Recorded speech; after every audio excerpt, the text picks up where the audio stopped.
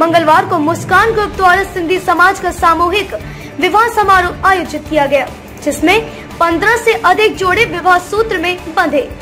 इस दौरान बड़ी संख्या में सिंधी समाज के लोग विवाह समारोह में शामिल हुए।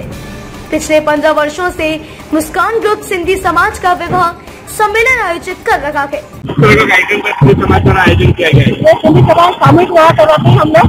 जिसमें एक ही अ, मंच के नीचे हम लोग दूल्हा दुल्हन को शादी के लिए बुलाते हैं और अपनी खुशी से वो सगाई करते हैं। शादी हम लोग यहाँ पर करवाते हैं। और उन लोग घर का पूरा सामान देते हैं। और हम अपने जैसे परिवार में शादी होती है। उसी प्रकार से पूरे सदस्य नाचते, गाते और अच्छी तरह से शादियाँ करवाते हैं। इसके चलते आज भी गोकुल गार्डन में विवाह समारोह का आयोजन किया गया।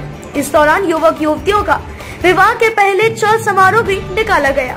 चल समारोह में सांसद शंकर लालवानी सहित बड़ी संख्या में समाज के लोग उपस्थित रहे, जिन्होंने विवाहित जोड़ों को आशीर्वाद प्रदान किया।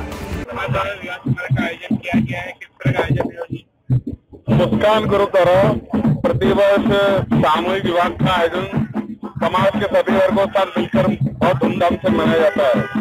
और प्रतिवर्ष के अनुसार इस वर्ष सत्रह जोड़े सत्रह जोड़े इस बार हैं।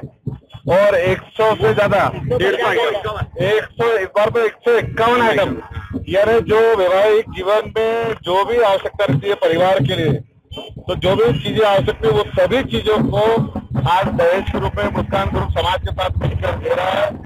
और इसके साथ जो सत्रह जोड़े हैं, उनके परिवार, उन लड़के वालों की तरफ़ से भी लड़के वालों की तरफ़ से। सब धूमधाम से जिस प्रकार एक बारात निकलती है, हम समाज के सभी लोग, लगभग मुझे लगता है चालीस से ज़्यादा मंच लगे यहाँ पर। वो सभी समाज के सभी लोग चालीस मंच से उनका स्वागत भी कर रहे हैं। पूरा समाज यहाँ पर है, उनके स्वागत के लिए, बारात के लिए।